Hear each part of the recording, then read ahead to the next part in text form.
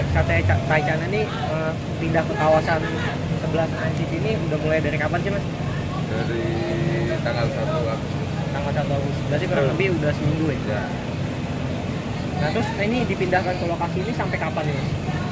eh, habis sikit Asian Games ya sampai event Asian Games selesai. arah ma- arah mau ke pasar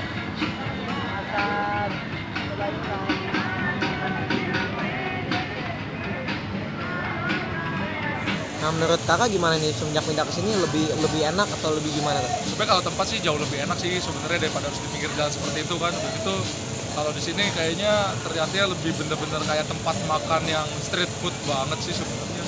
Jadi semua tertata rapi juga kita makannya juga nyaman